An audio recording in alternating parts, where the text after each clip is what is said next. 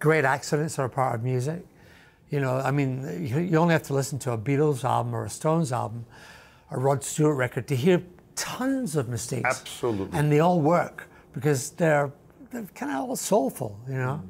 So I'm a great believer in that. And, and great playing, yes, but also leave the mistakes and leave the hiss and leave, leave the stuff that's a little bit odd. Yeah. Don't worry about it too much. Don't stress that.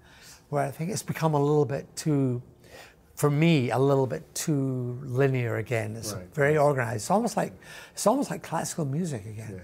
Whereas, in back in the day, we were making records. It was like we would show up in the studio, and you, it was your creativity Yeah. and your playing ability that that made the records That got you were. through the